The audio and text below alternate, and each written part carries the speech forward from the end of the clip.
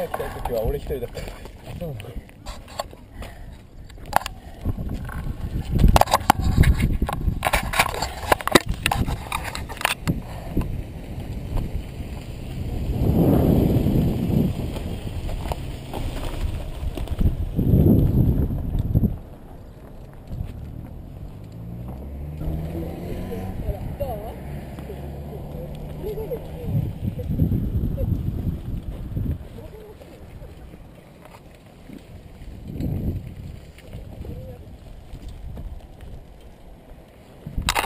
はい、おはようございます。今日は10月11日 ?12 日？はい、えー、何曜日？土曜日です、土曜日。えー、今私はですね、こういうところにいます。こういうところです。えー、ここはどこかというと、えー、熊本県阿蘇、阿蘇の、えー、大観峰、大観峰というところにいます。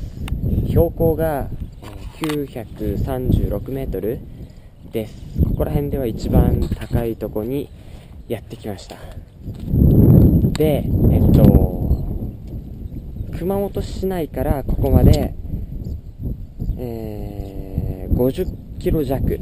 で、標高が900メートルぐらい上がって、はい、午前2時に出て、で、ここにある3台の自転車で、えっちらおっちらと上がってきました。ここで日の出を見ました。